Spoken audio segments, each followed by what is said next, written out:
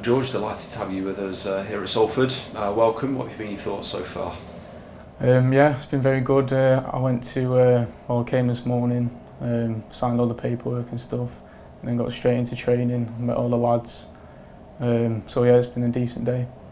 Obviously, you started this season on loan at Morecambe, um, and then coming here. Slightly different challenge for you. Is that the way you see it? Um, yeah, definitely. I think Salford are pushing for promotion. That's their main aim. Whereas at Morecambe, they were sort of in a relegation battle. So it's uh, it's completely different. So I look forward to the new challenge. How have you found playing in League Two this season? Obviously, only 20, so still learning the Mm. games. It been a good one?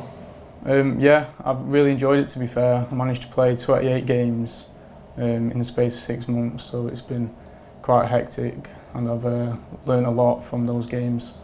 What you're hoping to achieve here? Obviously, you said about the um, pushing for promotion. Um, Mm. Is that the goal? Yeah, I think it is the goal, yeah. I think um, everyone here wants to get promoted and that's, that's the uh, final straw really. Um, they want to get promoted, so that's in, everyone, in everyone's head. And just a bit about yourself as well. So uh, you're a fullback. You like to be on the uh, right sides. What other attributes do you feel you can add to the squad? Um, yeah, I'm a right back. I like to think I'm a modern day right back. Um, I like to get forward and defend, obviously. Um, so yeah, whatever I can add to the team is probably going to be going bombing forward, getting forward, crosses in the box, and then obviously defending well, one v one.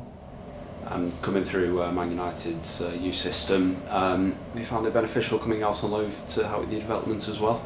Definitely, I think League Two is completely different to under 23s football. Um, so I'm glad I've experienced it, um, and it sets me in good stead for the for the future. It gives me that bit of experience.